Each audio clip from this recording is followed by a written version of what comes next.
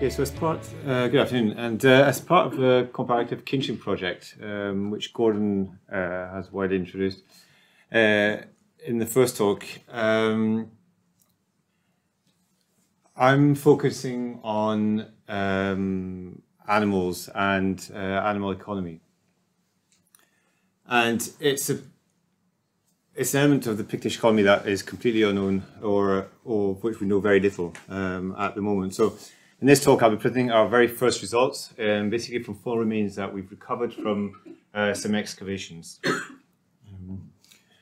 And to illustrate the lack of archaeological information that we have about the Picts, and especially their animal economy, in uh, 2014, Quaternary International published a special issue on agrarian uh, archaeology in Europe. And it was quite telling because the map they produced uh, basically showed Scotland as a dark spot. There was not even one site mentioned. Nothing. There was loads for England, uh, a lot for Ireland, um, but nothing for Scotland. Ireland is probably the country in Europe with the best uh, record when it comes to uh, animal economy. It's um, there's been uh, well, it's got a good actual record, very good textual record, um, and a good good uh, record as well. And the works like uh, Mini, led by Finbar McCormick, um, have shown uh, the importance of cattle in the economy in Ireland in the early medieval period, and especially for dairying. It's a dairying economy. Um, cattle is usually the basic unit for wealth, and it's also used for payments towards the elites. And this is a contrast with England. Uh, England at the time, uh, sheep, though cattle are important, but sheep are much more important in England than they are in Ireland. So there's a different economy between the Anglo-Saxon world and what's happening in Ireland. What does come out though is that the consumption of pigs um, is related to feasting and uh, often to high status sites.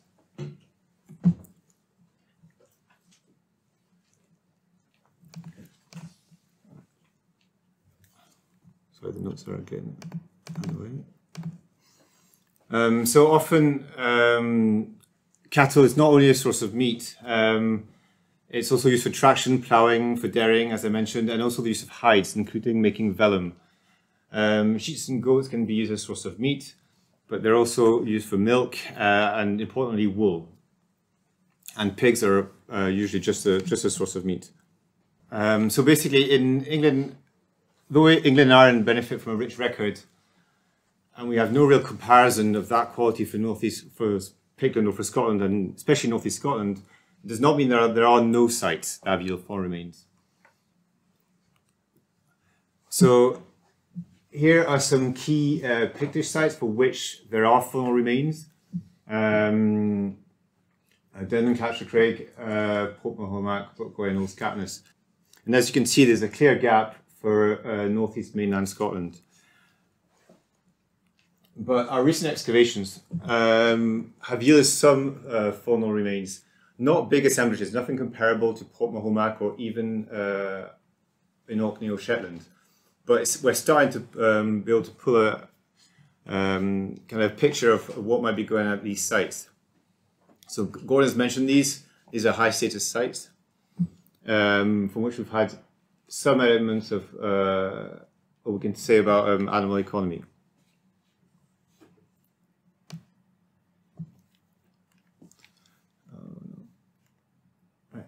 Um, so Burgh has been presented already, but um, Sahais is a fortified site. And we've had two seasons of excavation there in 2018 and 2019, and uh, we've got about 3,000 bone fragments. So it might not seem huge, but for uh, this part of Scotland, it's not. Too, it's pretty good. Um, unfortunately, the identification rate is pretty low, only 15%. So at the moment, in terms of uh, bones identified to species, we're ranging around 500. Um, so this is Burghead. So there's basically there a laser on this? Yeah, just tap one. Sorry. Yeah.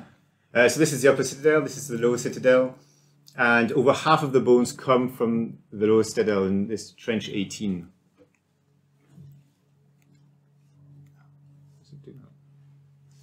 Um, so this is trench 18, which um, is 18 meters long, and you can see it's revealed a large wall uh, and possibly and some occupational deposits here uh, that are darker coloured. So possibly we're looking at a large building uh, for which we don't have the edges. And uh, as you can see, the bones are relatively well preserved, coming from different areas. Um, and we've just skimmed the surface of this uh, of these deposits, so we can see this slot is only about barely 10 centimeters. Um, uh, we've gone down about 10 centimeters at the very most, and we've already produced a, a quite decent assemblage for, for this uh, for this material. Um, I did a bit of math rapidly. If the total volume, um, if if we exclude the whole um, of these black deposits or dark deposits, potentially we could yield from faunal assemblage of around 26,000 bone fragments, which would give us about four or 5,000 identifiable fragments, which then would make it almost comparable to Port Mahomack uh, for the British period of Port Mahomack. Uh, Mither Tap, uh, recently excavated, good bone preservation, again, a very small intervention. Um, and the bones are well preserved, but very only a small assemblage, about a thousand bones. Um, again, hopefully further excavations will, will reveal more. Um, and if we look at um, the faunal composition, um, what you can see here is cattle is dominant at Burghead. It's also dominant at Mither Tap. And we've got sheep and pig uh, on both sides. So the three main domesticates that you get uh, are, are dominant. We get a bit more diversity at Burghead than we do at Mither Tap, but could that just be a sampling or a size of sample? Um, we get the odd thing like badger and fox, a bit of domestic fowl, some uh, birds, uh, very little fish. As you can tell, it's the same from Mither Tap, very little fish. Um, even Burghead's a coastal site, we get very few fish. Um, so mainly cattle dominated, and at Tap, so you can see how the MNIs and manures are very low at the moment. Uh, the interesting one is for Mither Tap pigs in terms of minimum individuals are actually higher than cattle. Um, so we are getting to see the picture of, of pig being relatively important at uh, these sites. Um, so to kind of compare uh, the composition of Burghead and uh, Tap to other uh, Pictish sites, um, I've plotted them here in terms of percentages, and you can see that for all Pictish sites, uh, cattle are high dominant, um, and pig usually ranked second, uh, with the exception of the um, the Shetland and Orkney sites, which might be an environmental environmental uh, issue there that maybe sheep are better adapted. Rhynie, uh, we've got some remains from Rhynie identified by Ingrid Mainland, uh, small assemblage, um, but you can see there's actually a high number of pigs versus uh, um, compared to cattle. It's actually the site with the highest number of pigs. And pigs overall might be underrepresented. It's been noted for Clatchard Craig, the I forget the name, uh, the zoologist who identified the, assemblage in the 1980s did say maybe because pigs are slaughtered young, their bones don't preserve as well, and maybe uh, pigs are actually more important than they, they seem to appear. Um, so rapidly, the graph I'll explain how it works. It's a ratio nip to pig, uh, cattle to pig, sorry, um, on the horizontal axis. On the vertical, it's sheep to pig. Basically, this line here, anything below uh, uh pigs are more uh, frequent than sheep. Um, and everything to the right of this line, it means cattle is more dominant uh, than pigs. Um, and here it means that these sites, uh, there's more pigs, and here there's just mainly cattle. So the interesting thing here is that we've got our high status um, sites, which seems to cluster here, where pigs are relatively important. And you've got Port Mahomack, the monastic site, which is completely at the end of the spectrum uh, with very few pigs. I plotted Iona, which is not in, in Pictland, it's on the west coast of Scotland, but it does seem to have a sim similar signature to Port Mahomack. We've got an outlier in Clatchard Craig. Uh, I've put Dunadd, which is Dál Riata, so west of Scotland, and it's got a different, it seems to have a different signature to our northeast sites. And Dunbar is in southeast Scotland, it's in Lothian, it's an Anglo-Saxon site, and you can see it's got the signature of what's been noted in England with where sheep are more important. So do we have a Pictish signature?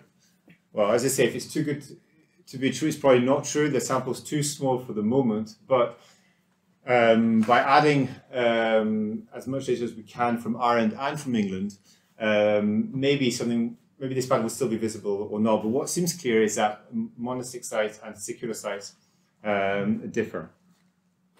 Uh, the quick, uh, so this is ongoing analysis, so we don't have uh, lots of data yet. But I plotted um, this looking at bone fusion uh, for cattle and basically giving you the survival rates per group of uh, age group. And what you can see here is that the survival rate is pretty high, which means that most cattle get slaughtered after 36 months. So they're quite older uh, animals. If, if this was beef consumption, you'd get a, a, drop around here when beef when animals are at their prime to be consumed as beef. Um, and we've got quasi absence of very young calves um, and very few here uh, killed in their prime. And this is actually similar to what Finbar McCormick has done for Ireland. And you can see uh, they've got a lot more sites with different site types. But he's identified dairying economy in Ireland. And this is uh, the profile. So you can see here uh, very few calves, very young calves, and uh, much older individuals. Uh, this is what this is pattern for dairying economy or the use of cattle for dairying. And it seems that we might have a similar pattern here. And the reason you get very young, uh, you don't have very young calves that are slaughtered is because they're, they're used to, uh, um, so the cows produce milk, so they need to have the cows till about six months. Um, we've also been, our colleague Kate Britton has also been uh, conducting uh, isotopes uh, analysis, uh, looking at human diet and also looking at diet of animals. And it's also been, uh, the projects have been looking at um, diet and subsistence. Um, and what you can see here, so she's been using uh, various isotopes. Um, so carbon nitrogen gives you the diet. So what you can see here is that our, these are human, these are pigs, uh, and you can see the variety uh, is actually quite boring. They're all clustered here. What this shows you though is that there's in between freshwater fish and pigs. So even though salmon are very important on symbol stones, uh, they clearly uh, they do not, they're not eating salmon. If they're eating salmon, they'd be somewhere around here. So they're in between pigs and freshwater fish, suggesting that pigs are actually an important part of the diet and freshwater uh, fish as well. Um, and you can see ca uh, cattle are, are down here. So this kind of fits the pattern of cows being used for dairying, also probably traction ploughing, um, and uh, for diets, more pigs and freshwater fish. Um, she's also done some analysis on the animals on, on, on um, animals, and the interesting um, trend here is that um, the sheep, which are there's a few dots, few, few dot blue dots here. That these are sheep they cluster higher than um, the cow in nitrogen. And um, so she thinks it's possibly uh, salt marsh grazing, which give the sheep a higher value. Um, and the pigs are, are, close to, to, the, to the humans. But the pigs have got very varied uh, values. And this uh, possibly uh, could be linked to them being reared in woodlands rather than in backyard, in backyard pens behind uh, houses, which you might get in, in the later medieval period. Um, and um, she's also been looking at strontium and sulfur, which gives you the um, where geography the animal uh, is coming from. And the interesting thing here is you can see uh, these are from Burghead. So sheep and pig are got uh, values that are constrained within a small range, which suggests that they're, they're probably all local. But on the other hand, the cattle have very uh, a very wide uh, distribution of, of um, of values. And this suggests that they come from a much wider region than uh, sheep uh, uh, and pigs. And this could suggest um, maybe uh, payments to Burghead coming from a, a larger hinterland. So it could suggest the control of Burghead on a quite large, larger region. Um, so to summarize, cattle are predominant at Pictish sites, um, and our sites that we've excavated uh, are showing this trend to, to continue. Um, cattle are being used for dairying uh, and come from wider region than pigs and sheep. Uh, pigs are likely to have been the main, main contributor to, to the diet in terms of protein. Uh, sheep and goats are it's the same trend as Ireland. Uh, then they're not uh, very frequent. And so generally, uh, it seems that the Pictish economy is something more that of Ireland than that of England at the same time. Um, and where we go next, well, uh, obviously continued as Rockwell analysis, um, looking at age of death and um, body part representation, and doing some metrics as well to try and if, understand more if this dairying economy by looking maybe separating males from females, and trying to understand more if these sites are consumer sites or producing sites or a bit of both. Uh, do we have improved breeds? Um, in Ireland, uh, McCormick showed that the sheep are not improved, but uh, we don't know for, for Scotland yet.